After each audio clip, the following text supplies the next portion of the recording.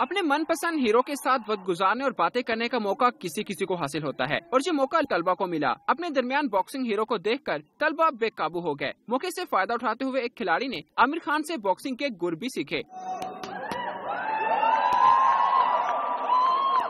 आमिर खान का कहना था कि बॉक्सिंग बहुत मेहनत तलब खेल है। खासकर फिटनेस को बेहतर करने के लिए खुराक का ख्याल रखना बहुत ज़रूरी है। उन्होंने कहा कि डैनी गौशिया से हारने का बहुत अफसोस है, लेकिन हार जीत खेल का हिस्सा है। जब सुबह चार बजे सब सो रहे होते हैं मैं उस वक्त ट्रेनिंग शुरू करता हूँ। स्टार बनने के लिए बहुत से चैलेंजेस का सामना करना होता है। ये मेहनत ही है जो आम आदमी को खिलाड़ी बनाती है। आमिर खान का कहना था कि वो पाकिस्तान में बॉक्सिंग एकेडमी बनाना चाहते हैं और उनकी ख्वाहिश है कि वो यहाँ भी एक मैच खेलें। कैमरामैन शहबाज मुगल के साथ सनाउल्ला खान दुनिया न्यूज़ लाहौर।